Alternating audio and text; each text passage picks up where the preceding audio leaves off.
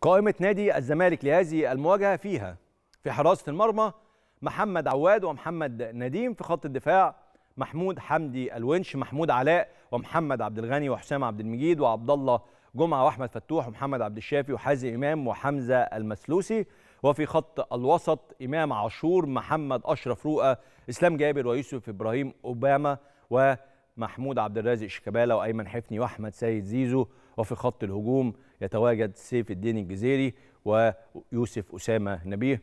ومعهم أيضا سيد عبد الله نيمار اللي بقى يلعب وسط ملعب كمان دلوقتي مع فيريرا.